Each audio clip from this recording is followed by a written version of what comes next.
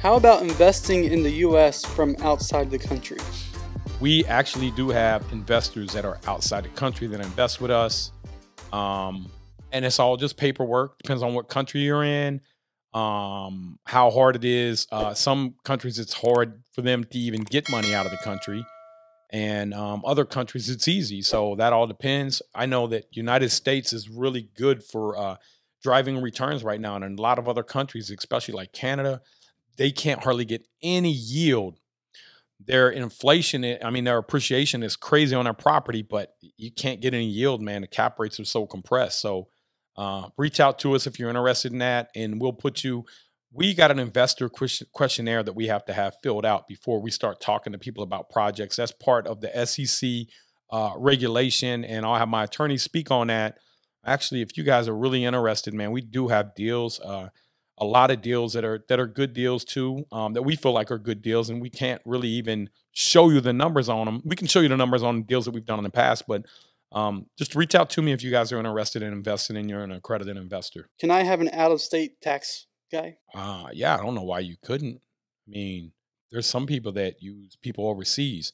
The irs i don't think really cares about that. You just have to understand I don't know if there's a certain license that you got to have, so I can't really answer that. I mean, my guy's out of state. You know, he's not in Ohio, so um, you know, I, I, I yeah, I, I, think you can, but I really don't know the rules and regulations behind that. So, but yeah, I, I think it's perfectly legal to have one outside of your state. Nate, is it typically a good sign or bad for an investor looking to buy a house when a lawyer is selling a property instead of a real estate agent?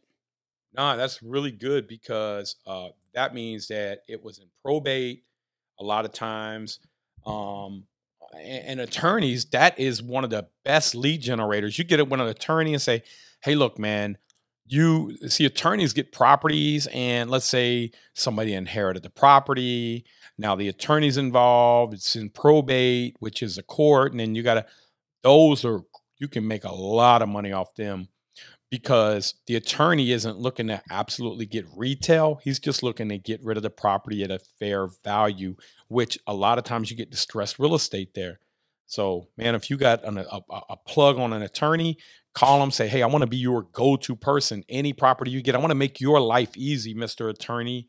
I want to bring these, uh, you bring me the deals, I'll get you a fair market uh, value.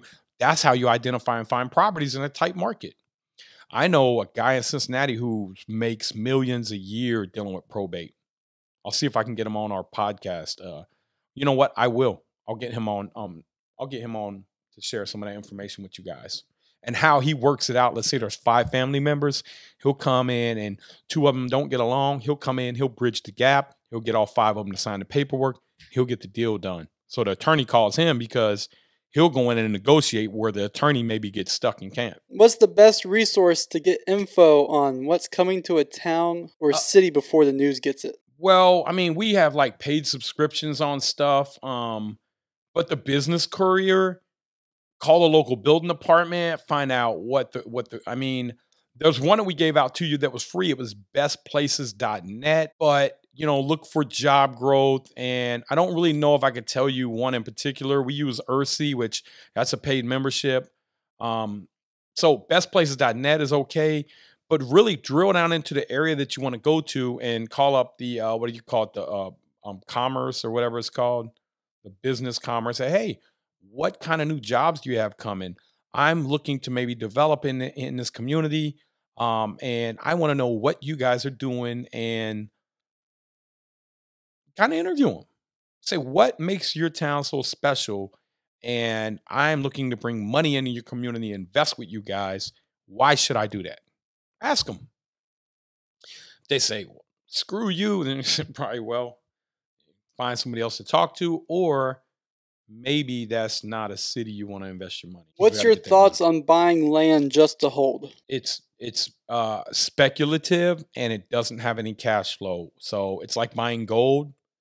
Maybe it goes up, maybe it goes down, but in the meantime, it doesn't get you anything, man. It can hurt you. The return has to be astronomical because when's the disposition going to be?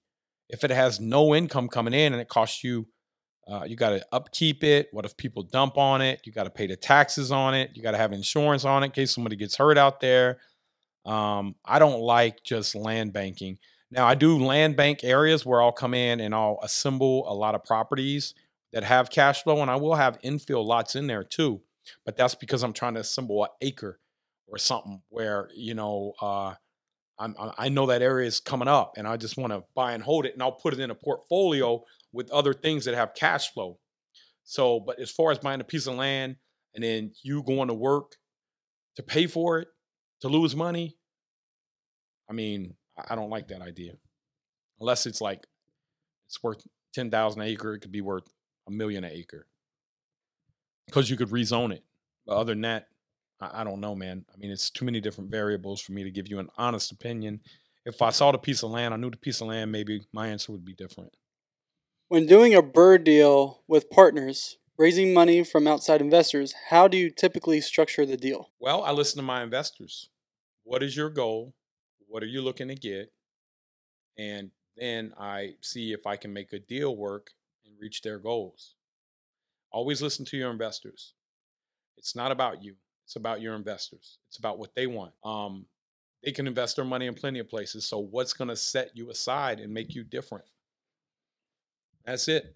And don't feel like your investors are too greedy if they want, you know, 50%. If they want 50% and you don't have somebody willing to give it to you at 40%, then that's probably in line with your experience and the deal. I'm rehabbing a house for a rental and was wondering do you use the glue down vinyl plank flooring or the ones that float? We use a floating. Um, house is from 1905. Yeah, you really probably the flooring on 1905 maybe wavy a little bit. Um, but I would use. He rebuilt the subfloor to level it. Yeah, I, I will. I we just don't use the glue down. It's not as it that, that's a little more flimsy and cheaper. We use a 12 mil with a backing on it with a 10 year commercial warranty, and we get it installed at 285 a foot. Um, anybody in the Cincinnati region or Northern Kentucky, um, I can hook you up with my flooring guy. He's amazing. He has 22 crews, and he is maybe charge you a little more than 285 unless you're doing a bunch of volume, but it's great flooring, beautiful colors. Um, and we can't even buy it and have it installed. It cost us more. So he gave us. He went to to to. Uh, I think he went out of the country and had so much of this made just for what we're using and other people. And he got us. He, he won our business over. Is what he did because I was like, dude, you, you're too high. And he came back. He said, what about this? I said, well, bring it to me. Let me see it. And he brought it, and I was like, man, this is some good flooring. Make sure you hit the like button, subscribe to our channel, Nate Barger on YouTube, and hit the bell and you'll be notified on any new videos that come out.